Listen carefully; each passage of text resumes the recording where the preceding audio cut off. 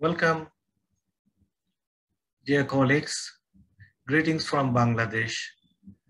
I'm Professor Dr. Mohammad Samiul Huq, now working as a president in Psoriasis Awareness Club, Bangladesh. I'm a dermatologist as well I has a public health background. So my focus of interest is the improvement of quality of life of psoriasis patient in developing countries. So I choose this subject because in the developing country, the treatment strategy is indifferent and there is no concrete base on that. So my topic today, I will discuss the treatment strategies of psoriasis in developing countries. This is a, uh, may you can say it's a recommendation to all the developing countries. They can do their own protocol. But for me, I think I have selected some of the points and I discuss this one in this lecture. Let me start my lecture. What who WHO says about healthcare? Improving human health and providing access to affordable, high quality healthcare is a key concern of all countries. First, the challenge healthcare face is to provide universal coverage and equal access to medical service for all. Without effective health coverage, people have to pay for care out of their pocket. So what are the drawbacks of healthcare in developing countries? Inadequate infrastructures, population bed ratio is not adequate, doctors nurse ratio is not also adequate. There is a regional discrimination. The budget is very low. The low health expenditure is there. There is a scarcity of drugs, high cost of rare drugs, high treatment cost, unused of medical equipment in the public hospital due to lack of manpower. Patients were deceived by fraud to reach proper doctor and diagnosis. This is the scenario of developing countries' health system. So WHO has proposed that the key center of health system in developing country should be primary health care, where the patient use first visit that area and for they will get the treatment first. This primary healthcare service ranges from mental health, rehabilitation, immunization, vaccination, maternal and child health care, to prevention and control of disease, as well as referrals. Primary health care is the key center of healthcare in developing countries. So what about the NCD in primary health care? It's a very important thing because non-communicable disease in developing country in the primary healthcare center, it is not so much visible because non this developing country is fighting with the communicable diseases. So they have no chance to put these NCD programs in their health system. So primary health care, where there is a feasible, affordable, and equitable option for reaching people in need of healthcare or NCD in some developing countries, there is.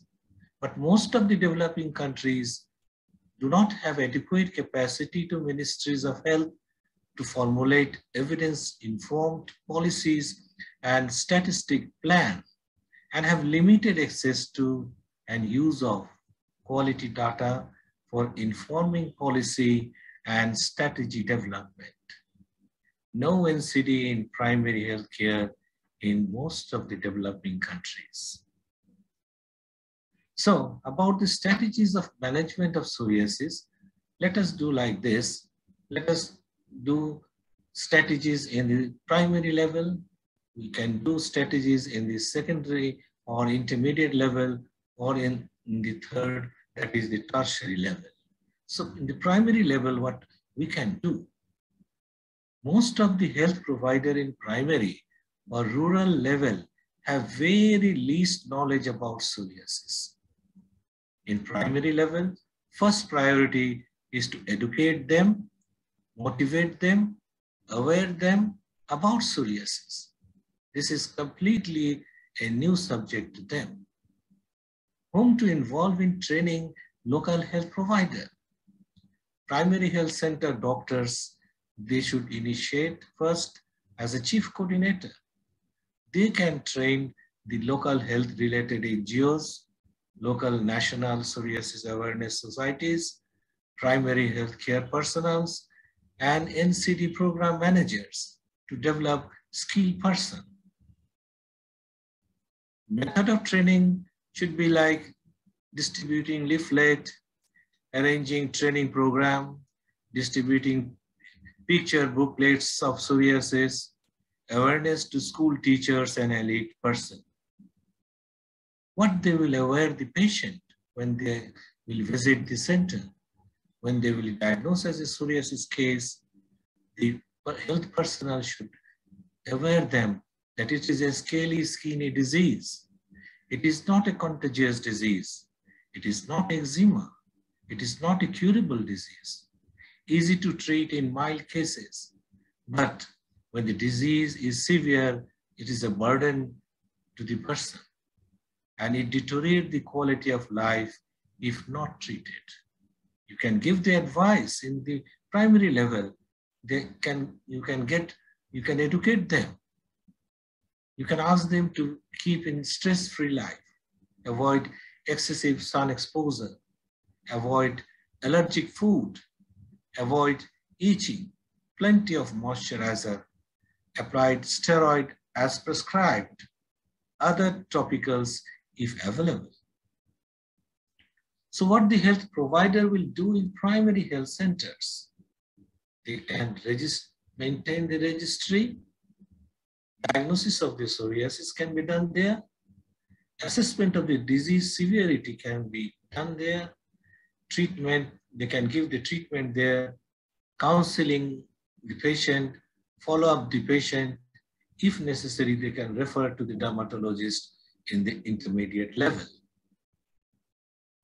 So there should be in the primary level a specific protocol of treatment that is limited medication they can apply there.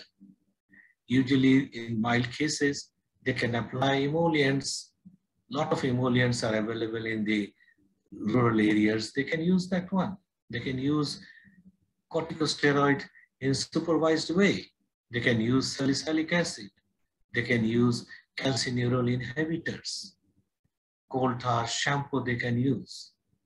But there should be a monitoring a reg regulatory body should be there to see if there is any malpractice there, maltreatment is there, or under treatment, or any patient develop complication with that. It has to be monitored in the rural area because a lot of malpractice is doing in the underdeveloped country in the root level. And the moderate and severe cases, they can be referred with the basic treatment to the higher center. They can screen the comorbidities if they have any. So regarding the primary, we have already covered. Now we can have a strategies in the intermediate or tertiary level. The place where this strategies is applicable is in the public hospitals, private hospitals, GP center, specialist dermatologist center, rheumatologist clinic, where they should have update knowledge of psoriasis by lecture, seminars, conference to healthcare providers. Dermatologists should take upper hand. They can put a psoriatic clinic in their center. The service they can provide, they have to maintain the registry, they have to uh, examine the patient and they can assess the severity of the patient. They have to know the risk and aggravating factor of that patient. They can diagnose, if needed, they can do the investigation. They can assess the comorbidities and needed, they can give the treatment. The treatment principle in the tertiary level should be patient education first. Treatment should be combined decision between patient and the healthcare provider. Treatment goal achieved should be monitored regularly to detect loss of response, which may necessitate modification of therapy. They should have a concrete, a prescribed guideline in the tertiary centers, specifically for the underdeveloped country. This guideline I have chosen, it is made by Malaysian guideline of psoriasis, and it is a very wonderful, uh, nice guideline they have shown, and something can be changed from country to country. Like in Bangladesh, we don't have phototherapy in our intermediate or tertiary level. Only few phototherapies in one or two hospitals are there. But in Malaysia, phototherapy is the intermediate, in intermediate level they are using. But so in our country, after using the topical treatment, we straight jump to the systemic therapies. The systemic therapy, we have to uh, give the priority in our country. Like this, other country can choose their own protocol. About the biologics, yes, those people who can afford the biologics, they can be given. In underdeveloped country, in developing country, definitely a lot of people, if they are counseling well, they can take the biologics and they are getting the beautiful result with these drugs. So lastly, my last slide is, it is my recommendation that psoriasis should include it in the national NCD program of all developing country. National registry should be maintained, larger epidemiological studies to know the true size and impact of the problem, awareness program to all healthcare providers and primary healthcare physicians. Specialized referral centers should grow up. Patient advocacy group should be developed. Management of comorbidities should be ensured. National psoriasis guideline and treatment protocol according to their own health system. Cost-effective treatment should be implemented multimedia campaign and awareness program should be there. Government should recognize psoriasis as a disabling disease needing early diagnosis and treatment. There must be a regulatory body to control maltreatment, undertreatment, or misuse of drugs. Involvement of stakeholder for support should be motivated. By this, I want to end my lecture. Thank you very much, all who are listening. I want to mention that I am newly recruit, nominated as a counselor in International Psoriasis Council this time. Thank you very much to the authority.